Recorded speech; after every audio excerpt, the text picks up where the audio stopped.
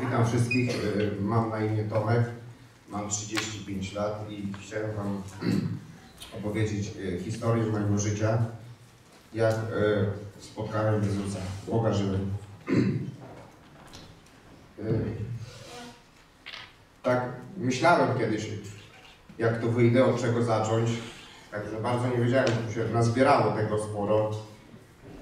Chyba zacznę od początku i tak w 6 godzin powinien się wyrobić też. I ja w wieku 20-21 lat, ja Boga się wyparłem. Ja powiedziałem przy księdzu, przy znajomych, nawet na lekcji religii gdzieś tam w technikum, że Bóg to jest taki wymysł, ludzie go wymyślili, żeby manipulować ludźmi, żeby kontrolę mieć nad takie miałem podejście. On nie był mi do niczego potrzebny. Do niczego. E, ja ogólnie pochodzę z takiego, z, z normalnej rodziny, takiej no, przeciętnej polskiej rodziny, gdzie rodzice e, ciężko pracowali, żeby coś, e, czegoś się dorobić. Ja nigdy nie miałem, e, mi niczego nie brakowało, tak? E, dobrze się uczyłem. Taki przysłowiowy, dobry chłopak. I ja poznałem w wieku 22 lat e, pewną kobietę. Ona jest teraz moją żoną. I to było zderzenie dwóch światów. Ja pochodziłem z takiej no, przysłowiowej, dobrej rodziny, ona z rozbitej, gdzie trochę tam patologia była. I to dla mnie był, ona mi się podobała, tak? Pod względem takim i e, fizycznym, i e, no, od, z charakteru ona mi się podobała, ale ja nie mogłem tego znieść, że, że to jest tak, taka przepaść między nami. I we mnie zaczęła się rodzić e, zazdrość. Zazdrość. Ona jest moją jedyną kobietą. Ja nie mogłem tego znieść, że ona miała innych. I to mnie nakręcało, ale to do takiego stopnia, że, że ja aż siadałem przy tym. I ja już nie wiedziałem, co miałem robić, bo to była obsesja. Takie sceny tam odwalałem. Może kiedyś moja żona tutaj wyjdzie, opowie, z, jak, jak, ona to widziała. I była taka sytuacja, że ja e, u niej, e, ona gdzieś pojechała na imprezę, ja u niej e, stałem przed drzwiami na schodach, przed drzwiami domu.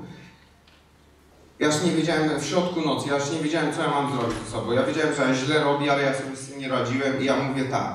Jeśli ty w ogóle istniejesz, to ja chcę w tej chwili mieć znak, że ty jesteś. Środek nocy. Jak taki żuk leci, te żuki co nocy, ten żuk leci i mnie tak w czoło uderzy. I ja, ja ustałem na tych schodach i ja, ja, ja się ocknąłem, y, to jest niemożliwe. To jest niemożliwe. Mówię, zbieg okoliczności, ale mówię, ale, ale jazda. Nie, to ja łeb spuściłem, poszedłem do domu i w tym domu północy leżę i tak. Co to było? Jak ja w życiu czegoś takiego nie przeżyłem. Na, na zamówienie. No ale przypadek. Przypadek. No i dawaj dalej. Koło Macieja, ta zazdrość, te sceny i tak dalej. My się rozchodziliśmy, schodziliśmy i całe, to się wszystko kręciło dookoła tej zazdrości. I była taka sytuacja w życiu moim, że my się już rozstaliśmy, to ja jak nigdy nie imprezowałem, spokojny chłopak. No to co, znaleźli się koledzy, jedziemy do burdelu. Jedziemy do tego burdelu, no to ja w ogóle nie wiem po co ja tam chciałem jechać, no ale jedziemy. Nie pojedziemy. Ja pamiętam w tym burdelu, zapłaciłem, kazali mi się rozebrać, położyć, poczekać, dziewczyna się przygotuje. Środek nocy, piątek był, pamiętam. Ja tak się rozglądam, leżę nago na tym łóżku. I naprzeciwko tego łóżka jest komoda i na tym komodzie stoi radio i tam gra e, muzyka, jakiś disco polo. Leci muzyczka, się tak przyglądam, tu czekam. No i w pewnym momencie ta muzyka się kończy i ja e, słyszę Dzień dobry, tutaj redaktor e, radia. Ja tego nie pamiętam, on się przedstawił. E, Dzisiaj będę rozmawiał z profesorem, doktorem habilitowanym nadzwyczajnym od tytułów. Miał od socjologii zachowań y, międzyludzkich o zdradach w związkach. I ja, uwierzcie mi, ja, ja, te, ja tego słucham i ja nie wierzę, że ja to słyszę. I ten, I ten doktor, ten profesor mówi tak, że udowodnienie sobie czegoś na przekór sobie, to nie, nie wyprostuje po, problemu, tylko go po, pogłębi. A ja mówię, ale on przecież mówi do mnie. On mówi do mnie. Ja nie wiem, czy, czy ja mam jakieś urojenia, czy, czy, yy, czy to są urojenia, czy ja to naprawdę w tym radiu słyszę. I wchodzi ta dziewczyna, Oksana. O, ten. I ona, ja o czym oni w tym radiu mówią? Ale co? No kto tam gada? No jakiś facet coś. I te radio wyłączyło. Aha, facet gada. Czy ja nie mam zwidów? Czyli może ten Bóg jest. On może jakaś wiadomość. No to tak, tak, tak miałem. Ona się do mnie przystawia. Ja mówię, ja słuchaj, nie chcę. Nie chcę, bo oglas, blokada tu w głowie. Mówię, posiedźmy tutaj, żebym ja wstydu nie miał przy kolegach. Posiedzieliśmy, wyszedłem. Do domu wróciłem i znowu północy leżę. Co to było w ogóle? Co? Ja, ja sam nie wierzyłem, że ja coś takiego przeżyłem, tak? No i co? Dawaj dalej. Ta zazdrość. I to do takiego stopnia się posunęło, że ja miałem myśli samobójcze. I był moment w życiu, to jest długa historia, ja tutaj skrócę, że ja już tego nie wytrzymałem, ja wziąłem pasek, poszedłem do stodoły się powiesić. I ojciec wszedł i powiedział, co ty robisz? Ja co mi, ja co mi z tym nie radzę?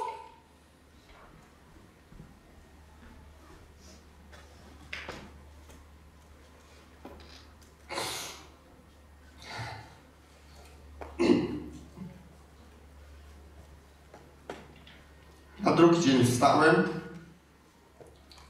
i ja poczułem się wolny. Ja nie wierzyłem, że ta zazdrość odeszła. Jak sam wojowałem z tym, to nie dowierzałem, że ktoś mi to zabrał. I wtedy takie, już mi się ta żarówka zaczęła rozświecać. Aha, czyli ten Bóg jest. I on jest, musi być dobry. Musi być dobry, no bo mój stan był już beznadziejny, a się wszystko wyprostowało. Czyli on chce dla mnie, to takie proste dedukcje miałem. Ja tam nie wiedziałem nic o żadnych, mi Kościół do niczego nie potrzebny, religia niepotrzebna, proste dedukcje miałem. Czyli on chce dla mnie dobrze, bo mnie z tego wyciągnął. Czyli ja tak przyjąłem takie założenia. Aha. Yy, to tak jak w kościele takim, ja już nie poruszam jakiejś religii i tak dalej, tu, że tu święty owaki, pankracy i tak dalej. Ja mówię sobie tak. Ja poprosiłem Boga bezpośrednio i On mi odpowiedział. Czyli przyjąłem założenie, że tej święci nie są mi potrzebni, bo ja mogę sam mieć z Nim relację. A nawet jak to się okaże, że ci święci tam to tak to wszystko spełniają, to oni się na pewno na mnie. Bo ja się do, bo ja się do Boga modlę, tak? No i, ale w tym wszystkim brakowało mi tego, no dobra, no nie ma ten, ale kim jest ten Jezus? No kim jest Jezus? No, no wiadomo, wszyscy wiedzą, y, bo w państwie, jakim żyjemy, no każdy wie, że Jezus zmartwychwstał, że zbawił ludzi. No i ja zacząłem czytać trochę, to trwało 15 lat. 15 lat mi to zajęło. I ja zauważałem, że to jest klucz bo w każdej religii na świecie postać Jezusa jest poruszona. Czyli to jest klucz do czegoś. No takie no proste dedukcje. I co? W 2018 roku w styczniu ja zacząłem się marnie czuć. E, przez te 15 lat ja miałem pracę, pobrałem się z żoną, mamy dzieci. Wszystko toczyło się tak, jak się powinno toczyć. Było ok. Ja nawet się jakoś tam modliłem, jak potrafiłem. Tam dziękowałem, tak, prosiłem, to tak jak ja tam, tak jak potrafiłem, jak, jak... I cały czas w głowie był, gdzie ten, co z tym Jezusem jest. I w styczniu ubiegłego roku ja zacząłem się marnie czuć. Nie miałem siły, jakieś gorączki, poty. Nogi mi zaczęły puchnąć. No, lekarze za bardzo nie wiedzieli, co tam się dzieje ze mną. E, jakoś astmę podejrzewali. Do szpitala trafiłem, wyszedłem, powiedzieli, że zdrowym człowiekiem jestem. No takie, ja coraz bardziej tej siły nie miałem. I trafiłem na pewnego człowieka, Tadeusza. Gdzie ten mój Tadeusz jest? Tutaj. I, I on mi mówi tak. Ja go znałem, tatka znałem trochę wcześniej. Ja nie wiedziałem, że on jest takim wierzącym człowiekiem. W jednej branży pracujemy, także jakieś tam relacje mieliśmy, bo e, no, hydraulicy, tak? Także jakiś na, na, na pułapie takim technicznym coś tam rozmawialiśmy, ale ja nie wiedziałem, że on takim jest człowiekiem. I on, ja mówię, że tam się słabo czuję. On do mnie mówi, no ale czy ty chcesz być chory, czy nie? Czy musisz tak? Ja, ja, tak nie, ja, ja nie słyszę tego, tak? Co on mówi. No Jak to? No, nikt nie chce być chory. On mówi, słuchaj, y, czy ty wierzysz, że Jezus umarł za, na twoją chorobę? Y, I do mnie dalej nie dociera. Ten, jak to? On mówi, czy ty wierzysz, że jesteś zdrowy? No ale i on mnie, ja zacząłem, zauważyłem, że on no, no, no mówi o tym Jezusie mi w sposób inny, jak dotychczas ja coś tam słyszałem. I on mi mówi tak, y, ja mu powiedziałem, że o jakichś tam tych przeżyciach swoich wcześniejszych, on mi mówi, Tomek, ty się musisz narodzić na nowo. Musisz oddać życie Jezusowi. Ja powiem się, uuu, stary. Ja mam tu nierówno pod kopułą, ale ty... Ja tak, ale... No, gadaliśmy w samochodzie ze trzy godziny. I jak wróciłem do domu, to było miesiąc przed, jak trafiłem do szpitala. Ja miałem w bani, to ja miałem tak. Mówię, co za gość? No on mi inaczej to powiedział. No, powiedział mi tak, jak ja się spodziewałem. No, że, że, że ten Jezus jest dla wszystkich, że to jest jakiś taki, to nie jest jakiś mm, wymyślona postać odległa, tylko gdzieś tutaj blisko. I przez miesiąc czasu ja miałem taką robotę w głowie, i, ale mój stan się pogarszał.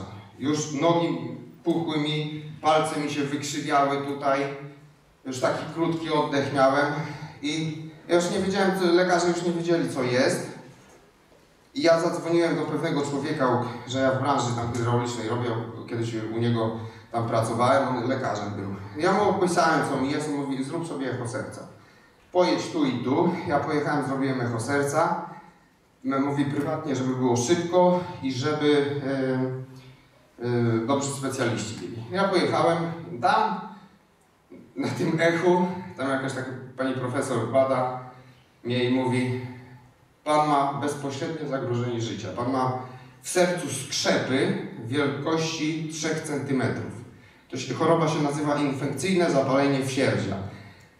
To jest rodzaj sepsy, która y, coś atakuje zastawki, jest żera, tam się z serca robi sito, robią się ropnie, skrzepy, no ogólnie to się zawsze śmiercią kończy. To leczenie operacy- operacyjne i ona mi mówi, ja, do mnie to nie dociera, że mam serce chore, tak?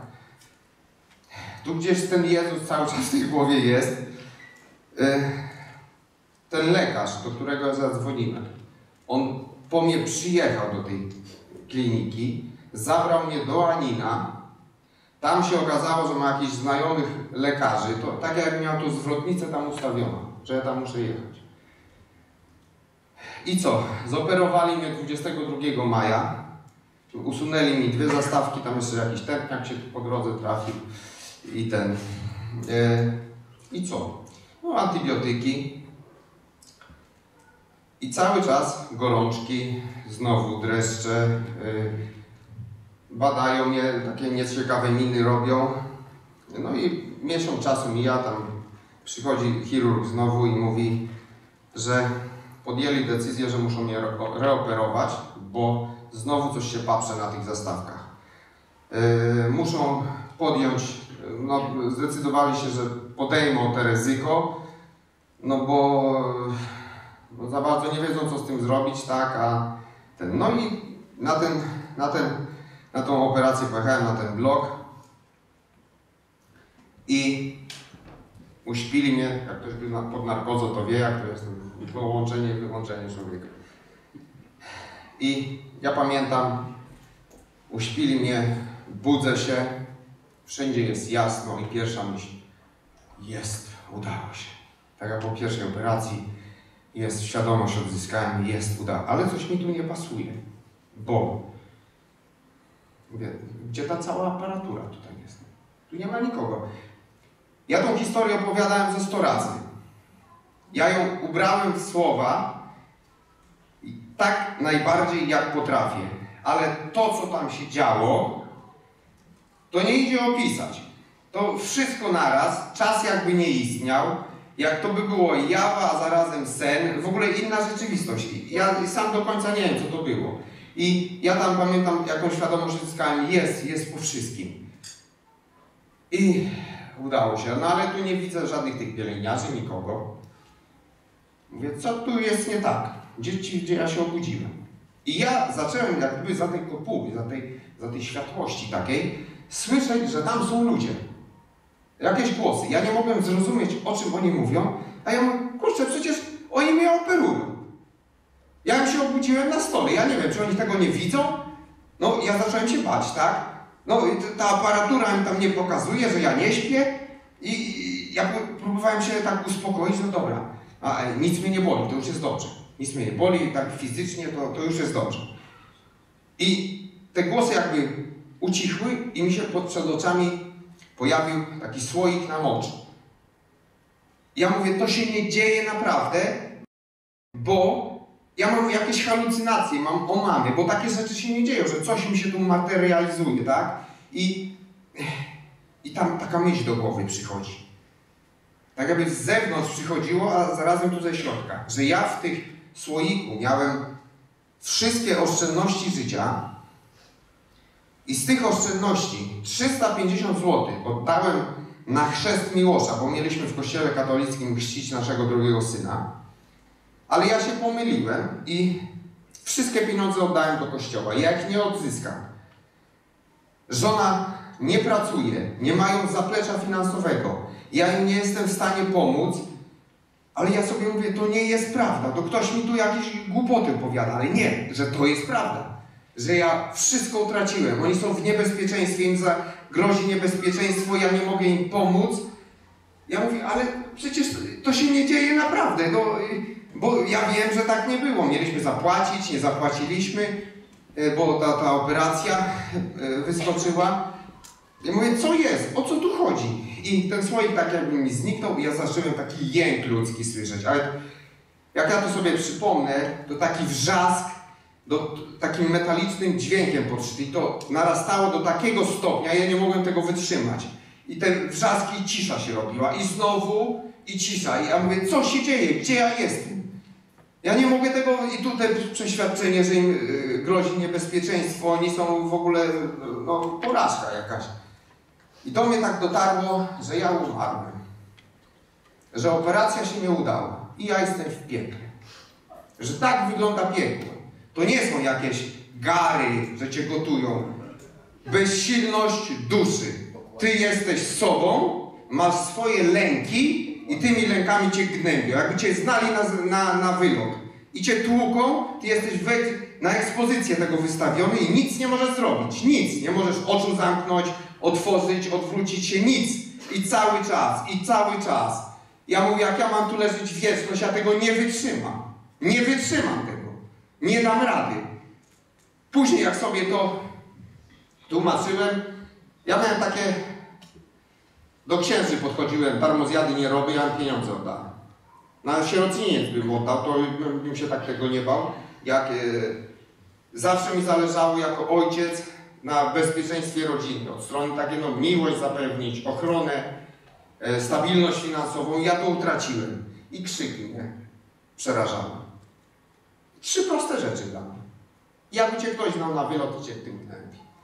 I ja pamiętam, ja mówię, ja tego nie dam rady. Boże, czym ja sobie zasłużyłem? Czy ja byłem złym człowiekiem?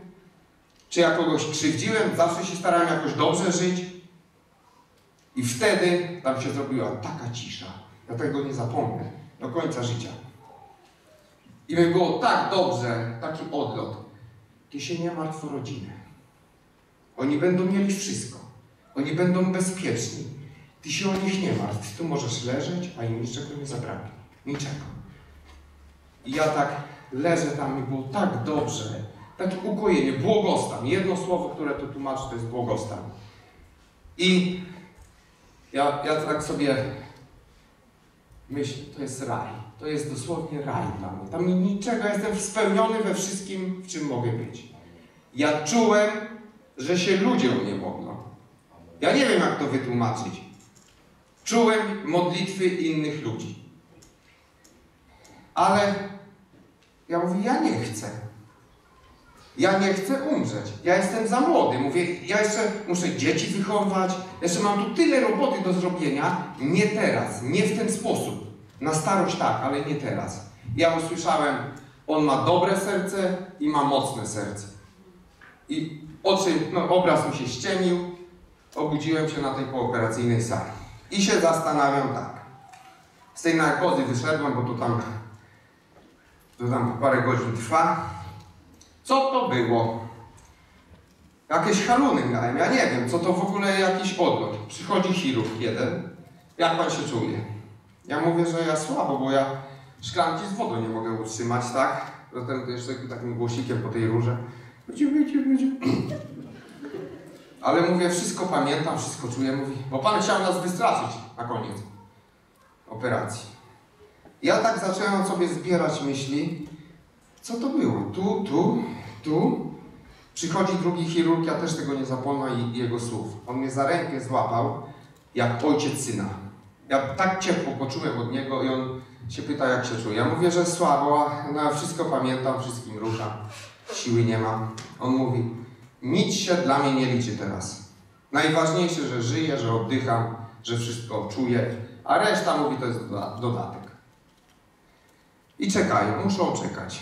I ja na początku to ja nie dowierzałem, co to jest, co ja przeżyłem. Czy to ta śmierć była, czy nie śmierć, bo to jakaś halucynacja, bo po, po narkozie to tam różne rzeczy ludzie widzą. Ja do końca nie wiem, czy ja schodziłem, czy nie, bo mi tego nie powiedzieli. Ale po dwóch dniach, jak ja leżałem na tej pooperacyjnej sali, pod całą tą aparaturą, zrobią mi znowu badania i znowu coś się dzieje na tych zastawkach. Ja widziałem, oni, oni byli załamani. Ten chirurg, który mnie operował, facet był załamany. I do mnie dotarło, że ja jestem na granicy śmierci. Że już bliżej nie może być. Że tu są dni. I ja powiedziałem, oni za bardzo nie wiedzą, co, z czym walczą. I ja powiedziałem tak. To wszystko tutaj w głowie się odgrywało, tak? Ale ja powiedziałem, ja zmienię swoje życie. Ja pewne rzeczy źle robiłem. Ja zmienię swoje życie, tylko ja chcę być zdrowy. Ja chcę wyzdrowieć i wrócić do domu, do pracy, do dzieci, do obowiązków, do żony. Ja miałem pokazane moje grzechy. Ja nic nie wiedziałem o żadnych pokutach, rachunkach sumieniu. Ja miałem pokazane grzechy, że ojcu śmierci życzyłem, w pornografii byłem tak, że będąc żonaty zafiksowałem się na punkcie pewnej dziewczyny. Wszystko miałem pokazane. Ja powiedziałem, ja nie tego nie będę robił, tylko ja chcę być zdrowy. Ja tak mówiłem, ja nie wiem, dlaczego ja to przeżyłem. Ja nie jestem nikim wyjątkowym.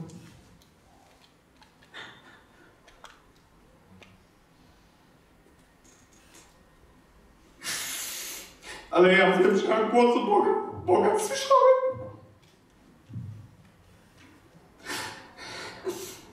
I on mi mówi, ty zawsze byłeś wyjątkowy. Zawsze, zawsze byłeś wyjątkowy. I ty tą historię będziesz opowiadał. Mi się nic nie marzyło żadnych świadectwach, niczym. Mnie, mnie to nie dotyczyło. Ale ja wiem, że muszę to mówić.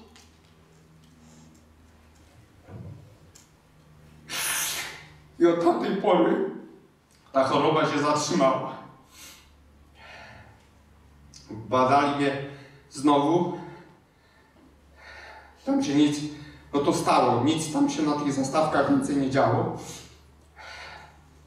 Zwieźli mnie na oddział normalny, gdzie już miałem telefon. Pierwszy co, telefon do Tadeusza. Co ja mam zrobić? Mówi, naród mu. Ale jak? Powiedz to, że on, Bóg, Jezus jest twoim Panem, wyznaj to.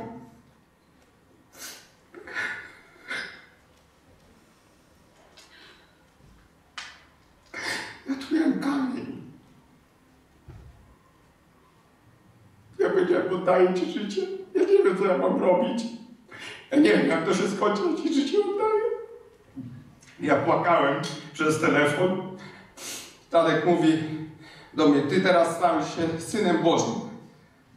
Ty jak się modlisz, to ustanawiasz. To nie jest tak, że ty jakieś paciorki musisz klepać. Tobie nie może myśl do głowy przyjść, że ty umrzesz, bo to diabeł przychodzi. Ty musisz mówić, że ty jesteś zdrowy, chociaż tego nie widzisz. Ty musisz wiedzieć, jaki jest koniec, że ty wyzdrowiejesz. Ja pamiętam, ja dzień w dzień siadałem na kiblu, na tym, na tej, w tej sali, gdzie tam byłem. I ja na głos mówiłem, dziękuję Ci Boże, że mnie uzdrowiłeś, że ja wracam do domu zdrowy. Ja nie wiem, kiedy wracam, ale wracam. Wracam do, do obowiązków. I dziękuję Ci, że ja się wysypiam, bo ja tam, e, jak Cię tak dwa razy rozerwę, to z tym spaniem, to, to są problemy. No, dwa, dwa miesiące nie, nie pospałem. I to Duch Święty mi wtedy podpowiedział.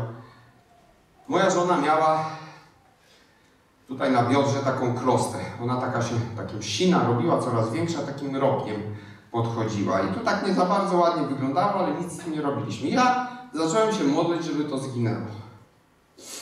Dzień w dzień to samo, dzień w dzień to samo. Pismo Święte sobie tam skołowałem do, e, do szpitala. Tadeusz mówi, czytaj Ewangelię. Zacznij od Ewangelii, poznaj swojego Pana i Zbawiciela, jak On działał, jakim był człowiekiem, jaki był Bogiem. I ja to czytam, ja tu nic nie rozumiem. Nic, no w ogóle no czarna magia. Ale nie, ja będę to czytał, czytam, czytam.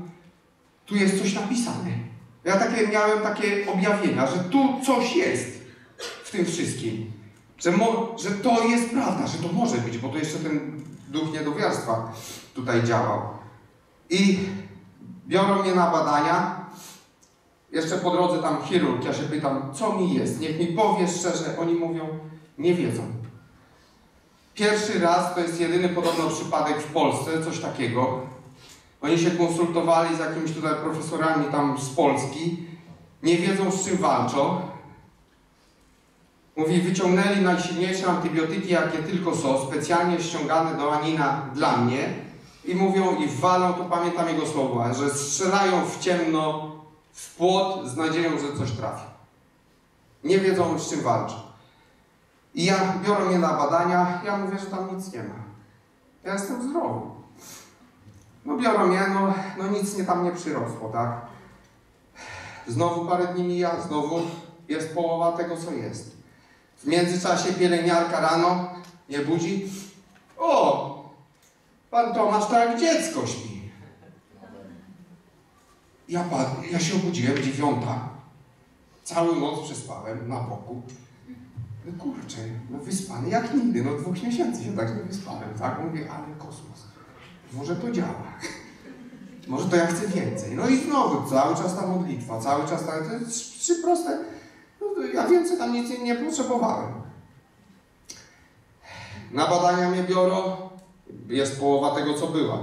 Później to zniknęło. No to później dokładne badania, tam tomografia, echo przez przełyk, tam takie różne tam cudowali. No i przyszedł dzień wypisu, to mi lekarze, jedna pani anestezjolog przyszła, mówi, że a jednak się panu udało, tak. Mówi, że nie sądził, że pana żywego jeszcze zobaczyli. No tak, tak. Wyszedłem do domu i żona mówi do mnie, co ty jakiś taki jesteś inny? Ja mówię, no nie wiem, tak mi się zrobiło jakoś i dobrze mi tak z tym. Taki jakiś spokojny. Ja mówię, no, ja nie powiedziałem na początku ja Jezusa spotkałem. Wstydziłem się. Ja się wstydziłem tego, po prostu. Ja jej powiedziałem, że coś widziałem podczas drugiej operacji, ona do końca mi też nie uwierzyła, bo to po tej narek, bo ja sam sobie też do końca nie wierzyłem, tak? E, I ja patrzę na te biodro żony i tej krosty nie ma. Ja się pytam, byłaś z tym coś u lekarza, czy nie? Mówi, jak byłeś w szpitalu, to zaczęło znikać. Oho. Ja mówię, czyli ja się modliłem o to. Mhm, no dobra, czy nie, no ale to ja się, no, tyle, tyle zbiegów okoliczności, co ja miałem w życiu, w jednym momencie, no to ja bym w totolotkach prędzej trafił, jak, jak, jak ten. I no i co? Ja postanowiłem, że, że co? Że, że idę dalej w stronę tego Jezusa. No to Tadeusz mnie tutaj trochę budował. Przyjechałem tu, pamiętam. Pierwszy raz, jeszcze w takiej kamizelce, którym się nie rozlazł po drodze. I, I człowiek coś tam słyszał, że jakieś te uwolnienia gdzieś w Częstochowie są, że tam ludzie padają. No dobra, no to tylko z opowiadań. Ja tu przyjechałem i patrzę, tu wrzeszczą, tu krzyczą. Mówię, ale sekta. Co ja tu robię? Ja cię kręcę. Ale nie, mówię, już tu twardo stoję i pamiętam jak dziś, ja tam gdzieś siedziałem pod koniec, tu badają, wrzeszczą i Artur leci do każdego, ale to po kolei. I ja sobie myślę, no przyjdzie do mnie, co nie? przyjdzie do ale ja nie, ja nie upadnę tu, ja tu stoję. I oni przyszli, ręce nałożyli, to jest nie do opisania. Ciepło, zimno, naraz, tu, łzy. Jak ja bym nie miał oparcia, to ja bym się przewrócił. Nogi jak z waty. Oni poszli. Co to było w ogóle? No nic, no. Człowiek dalej się no, buduje, ale co się dzieje? Coś mnie tu trzymało, żeby tu nie przyjeżdżać. No diabeł, diabeł i diabeł, czyli znowu powstała mi warownia i ci mówi tak. Czy to Jezus cię uzdrowił? Antybiotyki, pewnie coś trafili i wyzdrowiałeś. Ale zobacz, to takie tu w głowie tak powstawało. Zobacz, oni do końca nie wiedzą co, przecież ty znowu zachorujesz. Znowu. Bo oni nie wiedzieli z czym walczysz, yy, walczyli. Przyszedł styczeń, rachciak, gorączka, do Anina trafiłem, 105 dni w Aninie. Badają mnie, coś tam się dzieje w sercu, w jakimś miejscu nieoperacyjnym, nie wiedzą co z tym zrobić. No, antybiotyki to z automatu, jakieś takie najsilniejsze. I ja się tak zastanawiam, co ja tu w ogóle robię w tym szpitalu? Telefon do Tadeusza, do przyjaciela, tak? Tadeusz to już tak kawę na ławę wystawia. Mówi, Tomek, dla mnie to sprawa twojego serca jest zamknięta, tylko ty to rozdrapujesz. Ty nie dowierzasz. Ty jesteś od jednej strony barykady do drugiej. Ty się określ, co ty chcesz. Czy ty chcesz być zdrowy, czy nie? Ja, ja miałem dużo czasu tam, żeby przemyśleć to wszystko, ale zacząłem. Ja to cały czas zgłębiałem. Uwalnianie wiary, uwalnianie słów. I wam pamiętam, dwóch dziadków mi położyli i ja ich słucham i oni się szczycą tym, że są chorzy. Oni się prześcigają na choroby. Ja tu miałem pięć zawałów, o ja to osiem, ale o trzech to ja nie myślę w ogóle, co nie? I ja tak słucham ich, ja mówię, ja stąd wychodzę, bo ja się rozcholuję od tego słuchania. A panu co jest? Ja jestem zdrowy. Jakby pan był zdrowy, to by pan tu tyle nie siedział. W moim przypadku się pomylili.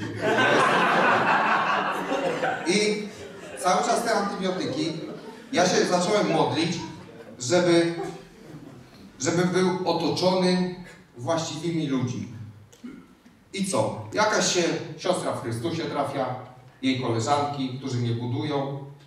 Pamiętam yy, jednej tej dziewczyny słowa, słuchaj, Bóg ci powiedział, że ty masz dobre serce i masz mocne serce. Bóg nie zmieni zdania. Tylko ty możesz w to wątpić, żeby cię nikt z tego nie zbił. To budujące słowa wiary do mnie, które ja przyjmowałem. Lekarz prowadząca, młoda kobieta, bardzo sympatyczna. Ona mówi tak do mnie. Wie pan, no tutaj rozważamy no, przeszczep serca, jakiś pompę mi wstawić. Yy, bo nie wiedzą za bardzo, co ze mną zrobić, bo mój stan jest na tyle dobry, wręcz bardzo dobry w stosunku do takiej choroby. I nie wiedzą, co zrobić. Yy, ja mówię, ja się na operację nie zgodzę. A co pan proponuje? No mówię, antybiotyki co najwyżej.